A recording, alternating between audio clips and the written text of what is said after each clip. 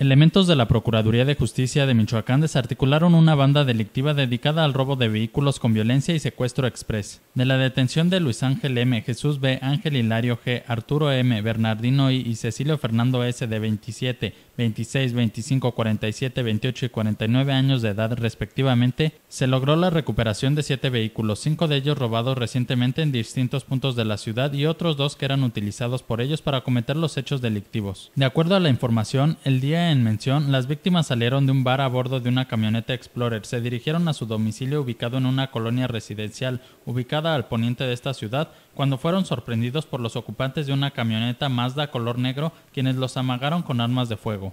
Posteriormente los obligaron a pasar a los asientos posteriores de su camioneta tipo Explorer, la cual abordaron dos inculpados, mientras que sus cómplices decidieron utilizar la unidad marca Mazda para retirarse del lugar, apoderándose del celular de una de las esposas de la víctima desde donde llamaron a los familiares para solicitar un rescate a cambio de respetar su vida. Luego de entregar la cantidad acordada a los delincuentes, los familiares y los ofendidos acudieron a interponer la denuncia correspondiente ante las autoridades, situación que permitió la captura de los seis delincuentes, quienes además tenían en su poder un arma de fuego calibre 38 Super y una 9 milímetros. Los detenidos, armas y vehículos recuperados fueron puestos a disposición de la gente del Ministerio Público de la Dirección de Antisecuestros, quienes resolverán su situación jurídica en las próximas horas. Con información de Redacción Informa, Cuasar TV.